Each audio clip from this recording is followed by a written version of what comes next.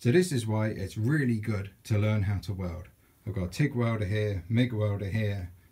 argon gas bottle. And the reason why I have this sort of stuff, and I have drills like that, half knackered drills, and angle grinders like that, is because when you've got a problem like this where you need to get from a 40 millimeter tube down to a 33 on a nice bend like this and you want to do it cheap all you have to do is buy yourself a nice fitting like this make up a piece of 40 millimeter tube because I didn't have any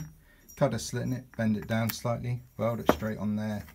weld a piece of 33 tube in there takes you an hour and it means the job's done finished all in stainless steel this is the advantage of being able to weld and having equipment and tools to do a job. You don't need to go and buy anything from anyone else and if you don't need to buy anything you don't need to pay for it and therefore you don't need to earn the money in order to pay them.